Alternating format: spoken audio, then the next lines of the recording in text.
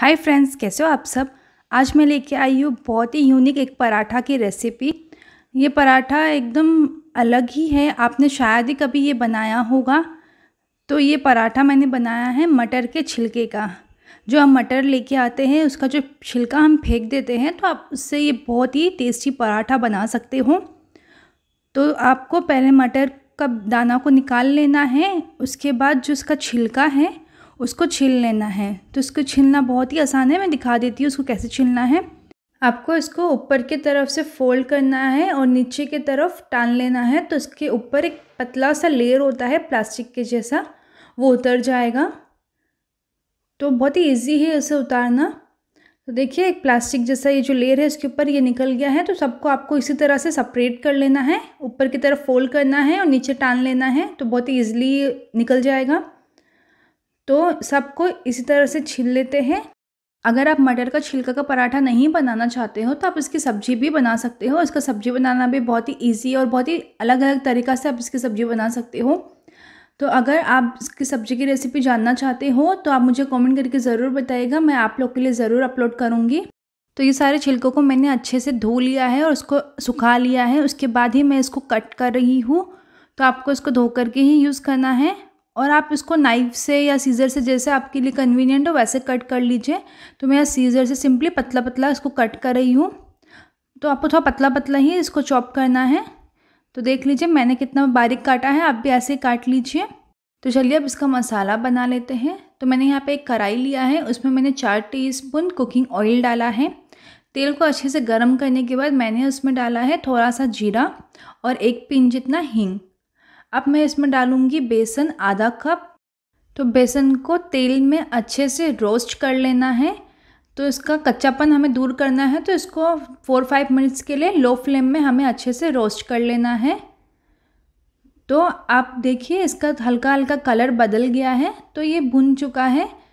तो अब मैं इसमें बारीक कटा हुआ छिलके को डाल लूँगी और इसमें अच्छे से इसको मिक्स कर लूँगी। तो आपको बेसन में इसको अच्छे से मिक्स कर लेना है और लो फ्लेम में आपको इसको भी हल्का हल्का कुक कर लेना है बेसन के साथ।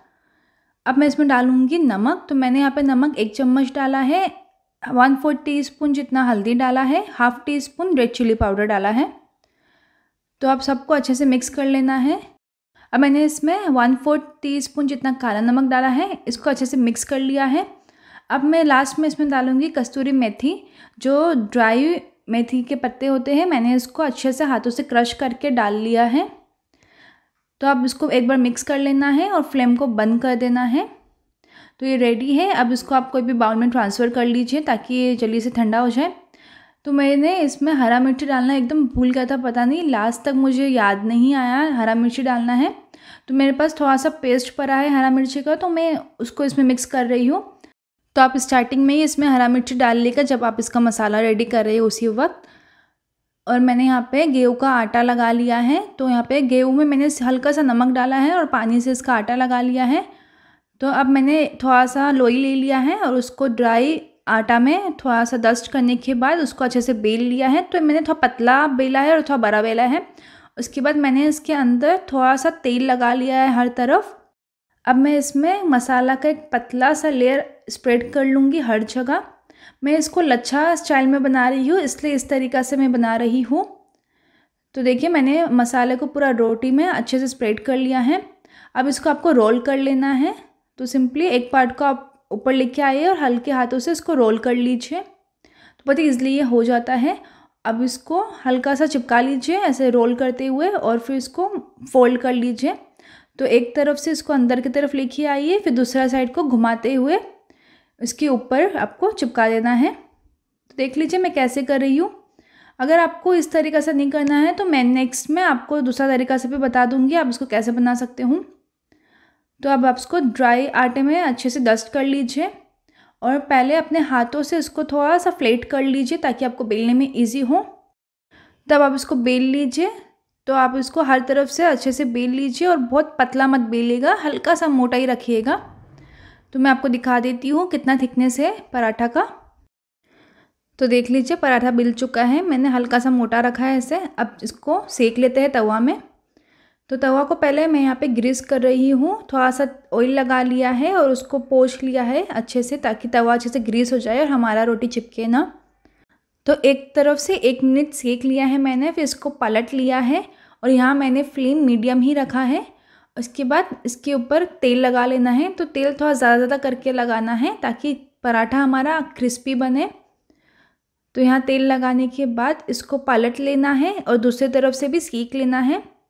तो इसको थोड़ा दबा दबा के अच्छे से सेक लीजिए तो आप कोई भी कपड़े की मदद से भी इसको दबा सकते हो। तो यहाँ पे अच्छे से एक तरफ़ सीख गया है, अब ऊपर की तरफ़ तेल लगा लेते हो। आप चाहे तो इसको बटर या घी से भी सीख सकते हो, पर तेल में थोड़ा ज़्यादा क्रिस्पी बनता है, इसलिए मैं तेल में सेकती हूँ। अगर आपको बटर या घी पसंद है तो आप उसमें भी सीखिए, बहुत टेस्टी लगता है उसमें भी। और दबाते हुए दूसरे तरफ़ से भी अच्छे से सेक लेना है। तो पराठा अच्छे से सीख गया है, इसको निकाल लेते हैं। तो यहाँ मैं दूसरा तरीका आपको दिखा देती हूँ। अगर आप उस तरीके से नहीं बनाना चाहते हो तो सिंपली आप थोड़ा सा लोई लीजिए और पूरी के साइज़ में रोटी को बेल लीजिए और उसमें अंदर थोड़ा सा तेल लगा लीजिए और उसके बाद इसमें मसाला स्टफ़ कर लीजिए।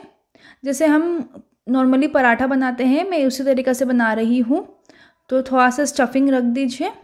अब इसको प्लेट्स बनाते हुए फोल्ड कर लेंगे और बीच में इसको पैक कर लेंगे और इसको दबा दीजिए बीच में जो भी एक्सेस है और इसको सूखा आटा में डस्ट कर लीजिए। और इसके बाद इसको बेलने से पहले आप हाथों से थोड़ा सा फ्लेट कर लीजिए और उसके बाद इसको अपने साइज़ के अकॉर्डिंग बेल लीजिए। तो मैंने पहले वाले के जैसे इसको बेल लिया है और सेम तरीके से सेक लेना है तो पराठा रेडी है तो अब इसको सर्व कर दीजिए। मैंने यहाँ पे हरा चटनी और सॉस के साथ सर्व किया है। तो ये पराठा बनाना बहुत ही ईजी है और बहुत ही डिफरेंट है और सच में बहुत टेस्टी लगता है। तो एक बार ज़रूर बना के ट्राई कीजिएगा और मुझे कमेंट करके बताइएगा आपको ये रेसिपी कैसी लगी। प्लीज़ वीडियो को लाइक कर लीजिएगा, चैनल को भी सब्सक्राइब कर लीजिएगा। Thank you for watching